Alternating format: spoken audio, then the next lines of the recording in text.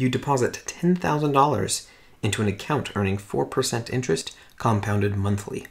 How much interest will you earn over 25 years? Our compound interest formula is P sub n equals P naught times 1 plus R over K to the n times K. P sub n is what we end up with. P naught is what we start with. R is the annual interest rate. K is the number of times compounded per year.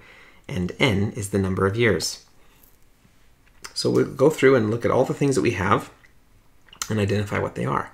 So this 10,000, that's what we're starting off with. So that's this P naught. Okay. We are earning 4% interest. That's our annual interest rate. That's R. This interest is compounded monthly. Okay, monthly compounding means that K, K is 12 because that's 12 times per year. And finally, we have uh, 25 years that we're looking at. And that means that that's this n right here. Okay, n is 25. So let's go ahead and plug in everything that we know.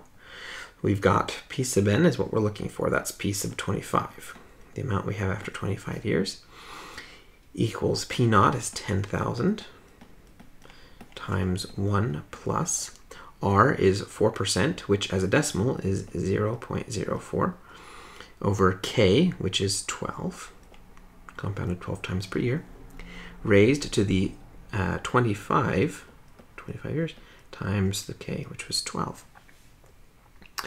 Okay, so we're ready to just plug this into our calculator. 10,000 times 1 plus 0 0.04 over 12 uh, raised to the 25 times, oh, sorry, 25 times 12. Okay, so we have, rounding to the nearest cent, we've got 27,137 and 65 cents. So after 25 years, that's how much we have, 27,137 and 65 cents. Now that's not actually what the question is asking. The question asks how much interest will you earn? This is the amount that we have in the account.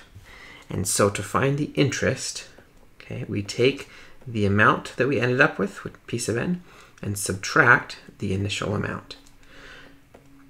So P sub n, the amount that we ended up with was 27,137 and 65 cents. Okay, and then we're subtracting our initial amount, which was the 10,000 originally deposited.